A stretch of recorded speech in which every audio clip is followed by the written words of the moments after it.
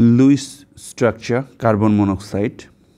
So the valence electron of carbon is 4 and the valence electron of oxygen is 6. So carbon monoxide molecule has 10 valence electron, right? Okay. Now we have to select the central atom. Here central atom is carbon because uh, it is the least electronegative electronegative atom than oxygen. So, here oxygen. So, we have 10 valence electron and we have to satisfy the octet for both atom by using this. So, at first we will satisfy the outer atom.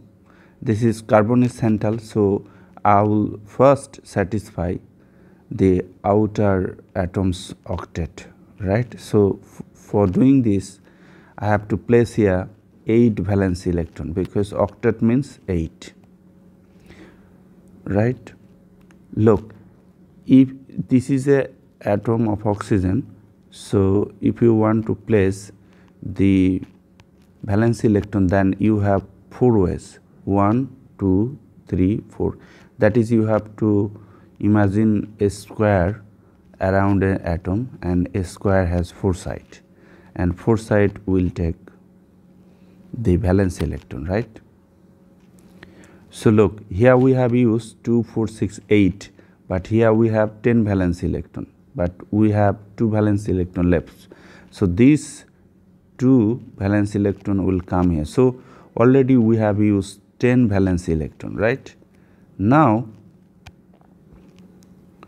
we have to satisfy the octet for the central atom. So, central atom has 2, but if I uh, if I use this lone pair here to make a bond then what will happen? Look one this single line means one, one two valence electron. So, we have taken two valence electron from outer atom and we have made a bond. So, now carbon has 2 and here 2 4 valence electron right. So, we need 8. So, we can use this valence electron. Okay. So, carbon has 2 4 6 6 valence electron. So, we need more. So, we will use these two valence electron right Look, now carbon has 2, 4, 6, 8 and oxygen has 2, 4, 6, 8.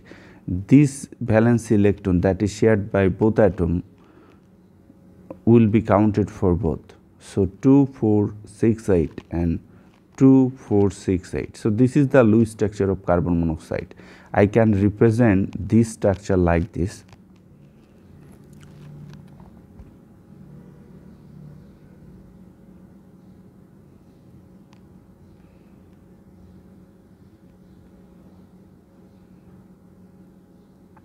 right. This is the uh, Lewis structure of carbon monoxide.